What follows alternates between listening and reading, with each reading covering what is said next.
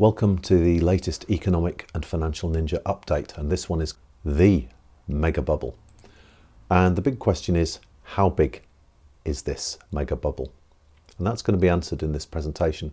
First of all, I'd like to give full credit to Bob Prechter from Elliott Wave International because this is one of his uh, recent presentations um, that he did, and it's well worth subscribing to because if you want to know about the timings and cycles of markets and even predictions of crypto movements and things like that, then uh, Elliott Wave is the place to go. So let's get on with this question. How big is it? And you may recall from one of my previous presentations that this is the 100 year Dow Jones Index, uh, which has been trading broadly between two channels for that period. And the fact is that when we tend to spike above a top channel, then it tends to be uh, quite a short period and followed by a much steeper, deeper crash back to previous support and resistance levels. So if you go back to the left hand side of the chart, you'll see that this is exactly what happened in 1929. And you'll see that we revisited this territory around about the year 2000 when we popped over this line briefly. And the fact is that we're over this line again at the moment. Now, to put this into context with regards to the year 2000, since the 1970s, we've had this decoupling from gold, and um, that means that the markets have been subject to heavy manipulation. And that means that we've kept above that median average line, the red line, for a long period. And you'll see that we bounced off that in the 2006 2007 financial crisis, and that was due to epic currency production and the slashing of interest rates. And we've got even more epic currency production now, along with virtually zero interest rates in many places. So let's have some context here. This is the S&P 500 index on a normal scale, not a logarithmic scale. And what you see is something that looks like the crypto market. You'll see that it has gone absolutely parabolic.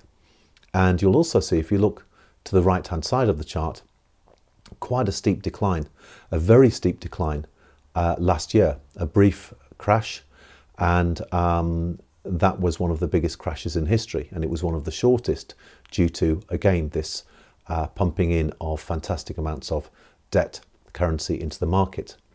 But you'll see two steep vertical lines coming in, and um, the implication for me is that these lines are getting sharper, steeper, and deeper.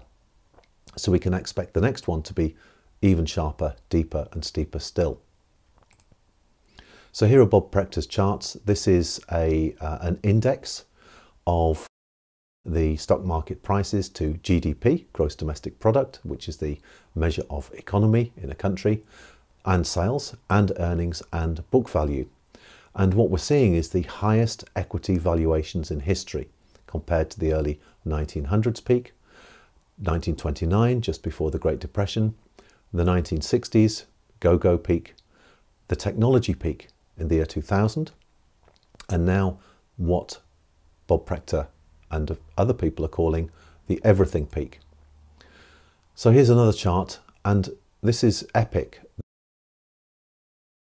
The valuation of the S&P 500 as shares is over three times one year's sales for each of those companies.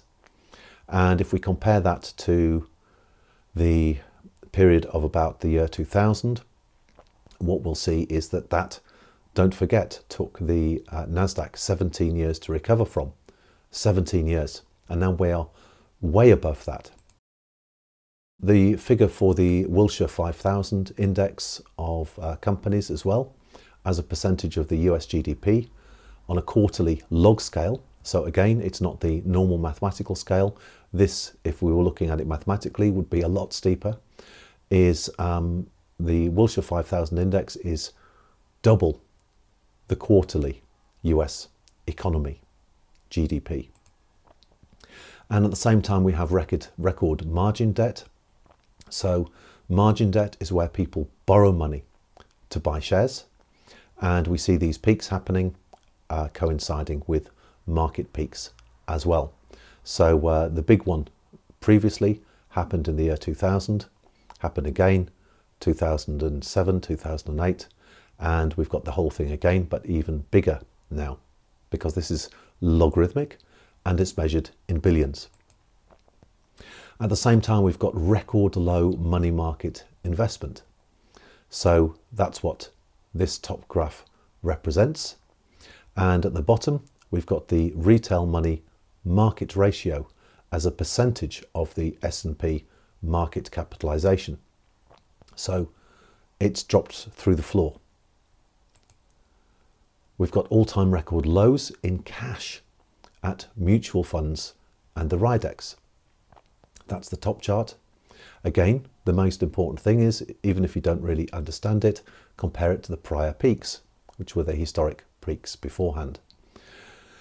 We've got the ICI mutual fund cash to asset ratio. So people and funds, mutual funds in this case, not holding cash, but having assets instead. So they've got, they're all in to this market. And then the bottom one is the total Rydex money market assets as a percentage of total Rydex assets in bullish index and sector funds. So bullish means people being positive about the market going up because obviously you buy shares, they go up. But you can also leverage those shares. You can get multiples of those amounts when the market goes up. And equally, you can also buy uh, financial instruments that go up when the market goes down. So this is just showing that we've got another record here. And this bull bear ratio, the people who think that the market is going to go up as opposed to the market going down, is again an absolute record. It's completely off the scale compared to the year 2000. And again, this is logarithmic. And then we've got the Rydex total bull to bear ratio. And what we're seeing is, have a look at this chart, the normal range. See what the normal range is? And now we've got something which is 40 times the normal range. And then we've got the leveraged bull to bear ratio, which is the people who are buying shares where if a market goes up by 1%, they'll get 2% or 3% or more.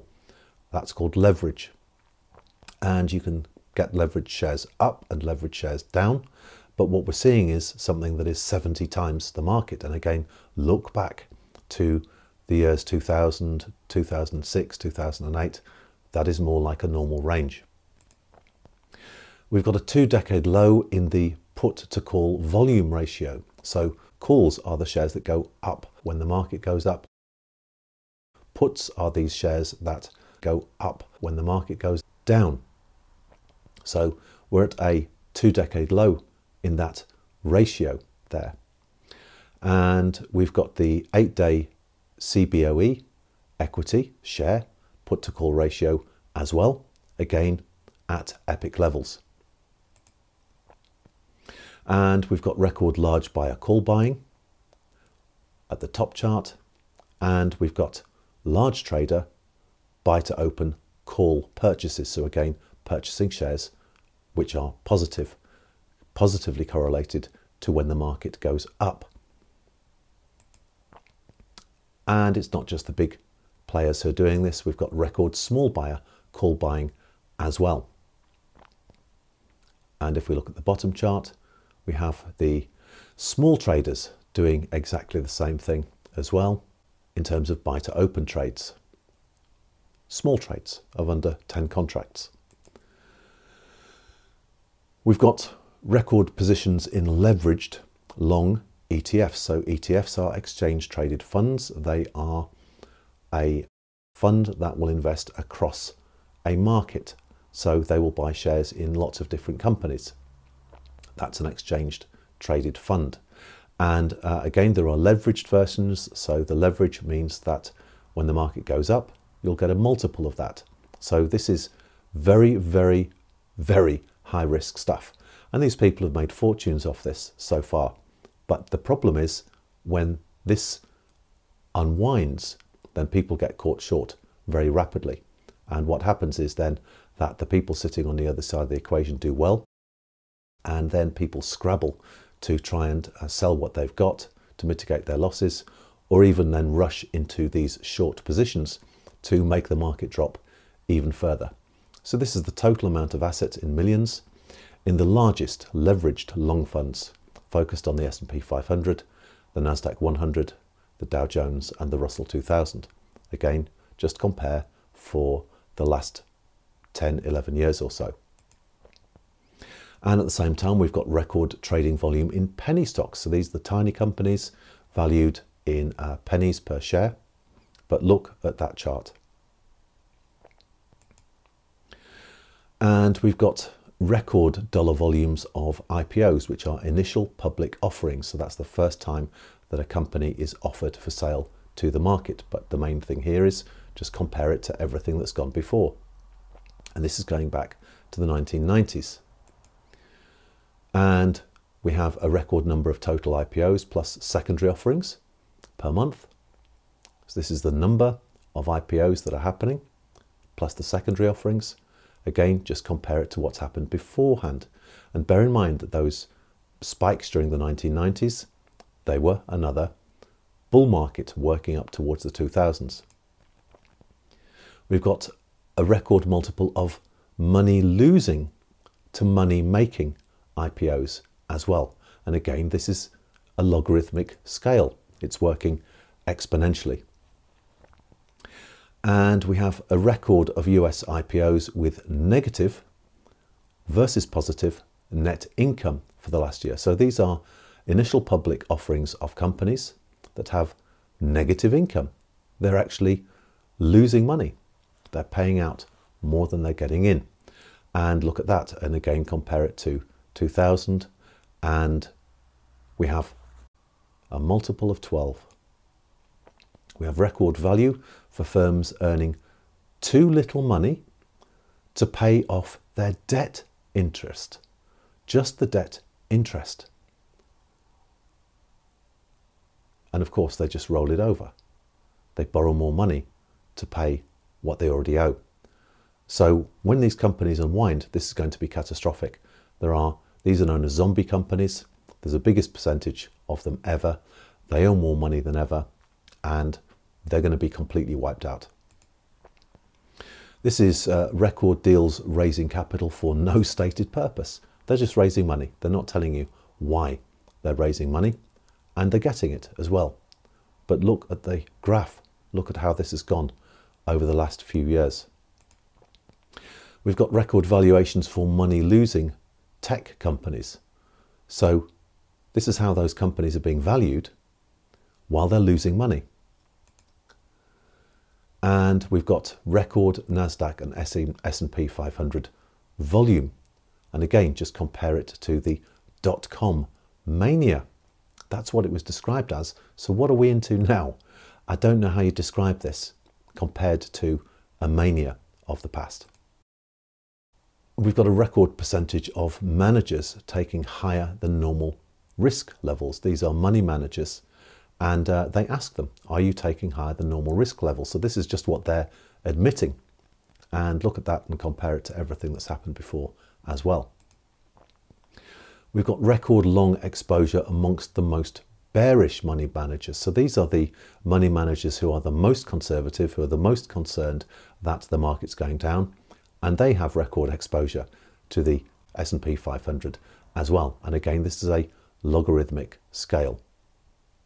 We've got record US households equity allocation, so US households owning shares as a percentage of their total financial assets.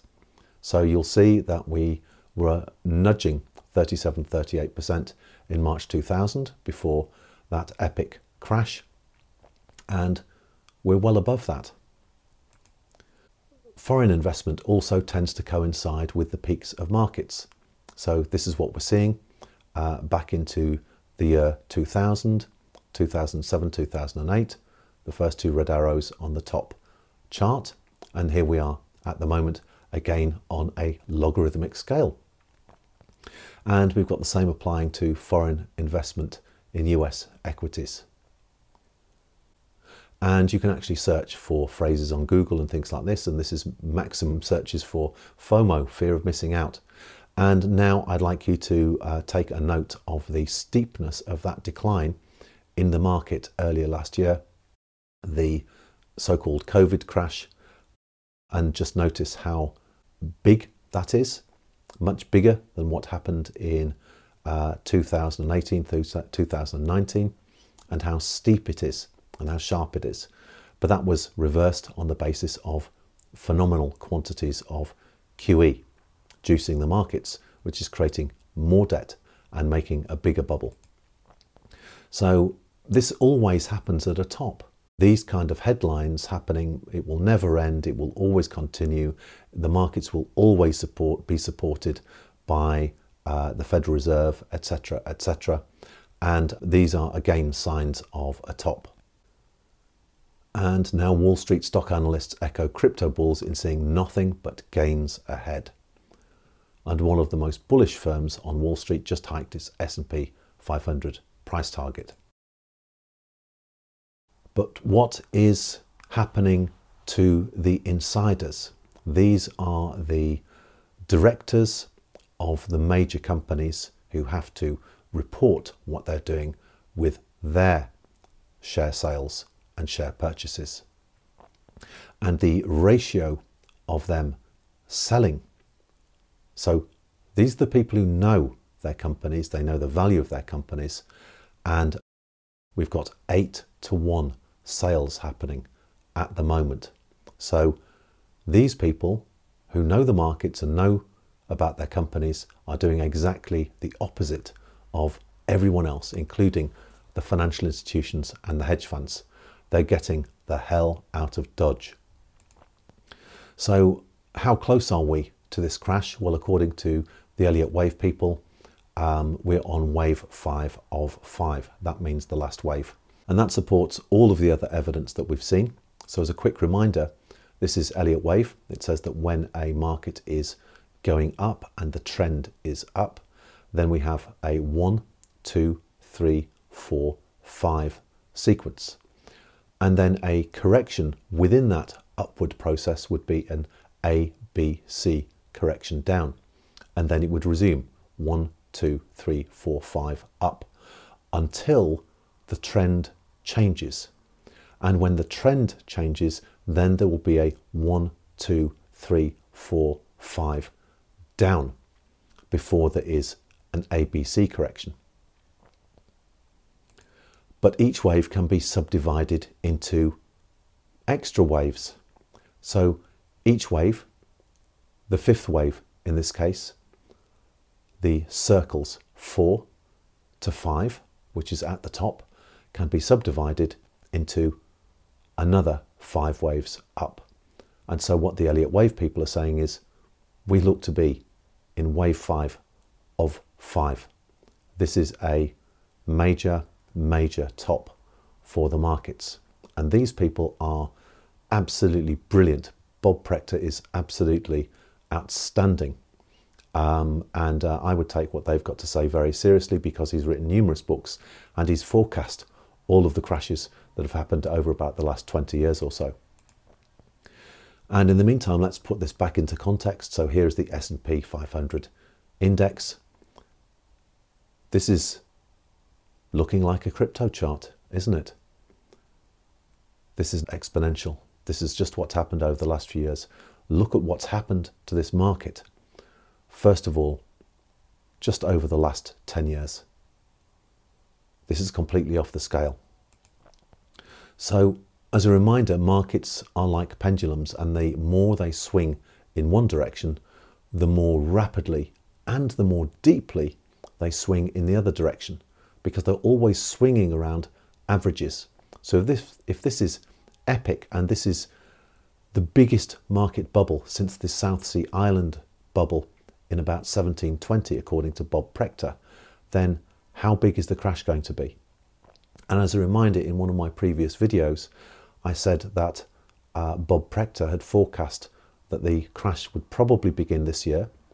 Don't forget, it's not going to all happen at once. There'll be one, two, three, four, five legs down. So one down, a correction up, another down, a correction up, and then a final move down. And he's forecasting that it will bottom next year. So that means it's going to be exceptionally quick, exceptionally deep, exceptionally steep. And if it overcorrects, then it's going to be absolutely monumental because the figures that we've seen from his presentation have been completely off the scale in every single direction. So here's a big question for those people who are following the crypto market. How does this impact crypto? And the fact is, we don't know. And it may well all be down as a function of timing. Because in scenario one, when we have stock market crashes, what happens initially is, is especially when people are borrowing money, so using margin to buy uh, shares, uh, especially the, the dealers and the traders, is that they get liquidated and they have to sell everything that they've got in order to keep trading. And so, an immediate aftermath of a market crash is that it brings down everything. It brings down gold, it brings down silver, and obviously, it will bring down crypto. Now, if that's the case, then we have an estimated bottom next year. And what I would predict then is that, being that, as we've covered in previous videos, pretty much the only things in this whole financial and economic system that are not a function of debt are physical gold, physical silver, and most cryptocurrencies, then those things should go off like a rocket.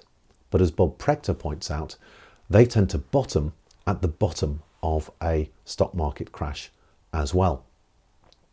So there are profound implications in that uh, if the markets also bring down gold, silver, and crypto. However, we also need to allow for the fact that it's not a straight line. One down, a correction up, then another move down, etc. And I'd like to consider a second scenario, which is that the popping of the stock market bubble and the bond bubble, etc., coincides with the uptick in the crypto bubble. And that opens up the crypto flight to safety play until the crypto bubble itself bursts. So if the markets start to drop, but Bitcoin and crypto is on its rocket leg, and we now have things like ETFs opening up, then we have the potential for people to much more easily step into crypto through Revolut and through ETFs and things like that. And, um, and that could mean that some of that money runs into the crypto market. And there's going to be an inevitable crypto bubble anyway. Uh, we're just waiting for the blow off top at the present time.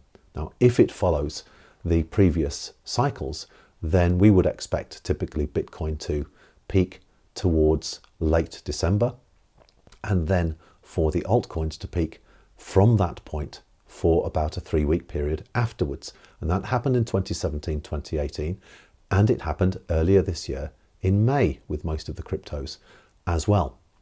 So that could be a side effect, which is that some of that money moves into crypto because crypto is still moving up and we get an enormous pump in crypto. It's important to note that crypto is typically not debt related. So in that case, it is like physical gold and silver. But all of these markets are small, and the crypto market is so early, so small, and so speculative that it is more prone to very big speculative cycles, so bubbles with blow off tops. And bear in mind, we're talking about a bond market bubble, which is bigger than the stock market, and a stock market bubble. They all go into bubbles. But what that means is the smaller the market, the, the earlier it is, the more speculative it is, then the more likely it is to go vertical and to drop precipitously off the other end. So we're just going to have to watch and see in this situation as to what happens. But I referred to a previous video by Bob Prechter in which he talked about the Elliott wave theory being that uh, the market drop starts this year and it bottoms next year, and the disparity between Elliott waves and cycles uh, for measuring uh, where the bottom of the market would be. And uh, clearly, at the moment, we have not started at present the drop in the stock markets, etc. Uh, but he was forecasting the bottom for next year. We have to wait and see because my interpretation of this information is that it depends on timing. And if crypto is still rocketing up, then um, it could be undermined by a stock market crash. So, what would happen in that scenario? So, what we're seeing in this chart is a logarithmic chart of the price of Bitcoin. It's the only way that it makes any sort of sense because Bitcoin has gone up from such tiny amounts to such huge amounts that you lose sight of this relationship. So, what we see here is that on a logarithmic scale, Bitcoin has also been trading within a channel. The implication of that is that if money absolutely starts to flood into Bitcoin, then we could burst above that channel, which is quite possible. And it tends to happen in a spiky manner for a brief period of time. And when it does, that tends to be a key reversal indicator indicating that the market will first of all correct to the norm and then crash below steeply, deeply, and quickly. So there are some indicators to give us some information about where we are in this market. And where we are is really quite equivalent to where we were in November 2017 at the present time. And that means that we could have a very rapid bubble. The big question is when do we keep following this December peak for Bitcoin or does that get extended? But bear this in mind if Bitcoin does not get its blow off top, then I would expect something similar to what happened in May this year, which is that it trends down within this channel for a period of time. And what that means is that it's just delaying the inevitable blow off top. And the longer it's delayed, the higher the blow off top is going to be because these channels are trending upwards until the trend changes. And because the channel is trending ever upwards, it means the longer we go, the higher the potential top for Bitcoin and the other cryptocurrencies. So, this is just something to be aware of. What happens to Bitcoin and crypto if there is a major market crash?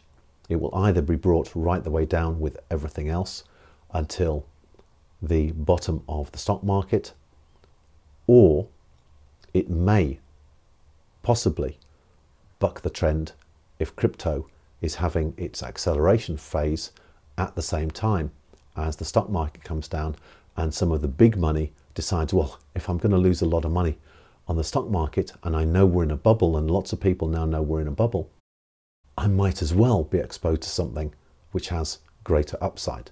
So there could be the potential for that kind of reaction of people just flocking like sheep into Bitcoin and crypto at exactly the wrong time for them because people think oh, everyone knows this. Everyone knows that Bitcoin has its cycles and its bubbles and stuff like that. And it's not true. Where is the money going into? Into uh, the crypto market at the moment. It's coming from two main areas. One is coming from the smart money, the banks, the hedge funds, etc., etc. But the other one is the flow of uh, retail investors, young people especially, into things like meme coins. You know, if they were serious about crypto, they'd probably be going into um, Solana and Ethereum and Bitcoin and uh, a whole load of other coins, VeChain, and things like that. But they're not. Um, and the result is that the meme coins are the ones that have been absolutely exploding so far. And that's just a sign of the bubble to come. So, um, do those people know about the crypto cycles and the crypto tops and things like that? We've got normal people coming into this market now. We've got people who haven't been able to um, get work their way around crypto wallets and crypto exchanges and stuff like that. ETFs and things are a wide open opportunity for them to just phone a broker and say, sell this and buy Bitcoin. And the fact is that this market is still prone to bubbles. So making assumptions about what other people know and what people think is not true. We've got a whole load of brand new people coming into this market, and the upside is absolutely enormous. Bear in mind what Raoul Pal said recently, which is that this market is growing at more than twice the speed of the internet at the moment. That is over 100% a year, and that's exponential. So 1 becomes 2, 2 becomes 4, 4 becomes 8, 8 becomes 16, 16 becomes 32, 64, 128, etc. So we're looking at a market that is going to grow into a $100 trillion market from where it is at the moment within the next 10 years. And on that basis, a lot of the people getting in won't have a clue about crypto and about Bitcoin and things like that. And ultimately, the function of a blow off top is where people are buying and holding. Therefore, there is reduced supply on the market and the floodgates are opening for new buyers to come in and they're having to pay on the margin more and more and more for what they're buying. And that sends the price up and up and up into a vertical needle like spike. And until the buyers, the new buyers, are exhausted, and then people are probably selling into that market all the time. But someone or some people or a group of whales or whatever go, well, that's fantastic. I made an absolute fortune. I'm just going to get my money out, or I'm going to sell everything, or something like that. And then you suddenly have a greatly increased supply on an exhausted group of buyers. And that then means that you have an equally needle like drop on the other side. And that's exactly what happens with uh, crypto. So we just need to bear that in mind um, people will be buying into that market still. Uh, they will not be aware of the cycle. They will not be aware of um, the crypto blow off top. They'll be sucked in by Bitcoin 100,000. Bitcoin maybe a lot more than that, even over the, over the next few weeks. And they will want some of that. And they'll have sat on their hands for so long and they'll suddenly decide, oh, I've got to get some of this at exactly the wrong time because that is how markets work. So us knowing about bubbles and the crypto market and things like that becomes very important. So don't make assumptions about what other people know or they don't know. We have to be pretty measured and realistic about this in terms of understanding that some people know, they don't know. They haven't asked, they don't know where to research, etc. So forewarned is forearmed. Um, we're now, I think, in the very close to the blow off top phase of the market. There will be more videos to come. So thank you very much for watching. And full credit to Bob Prechter for his work. Uh, as I said, if you're interested in timing markets and the cycles of markets and their flows, etc., then the Elliott Wave subscription is well worthwhile. Thank you for watching.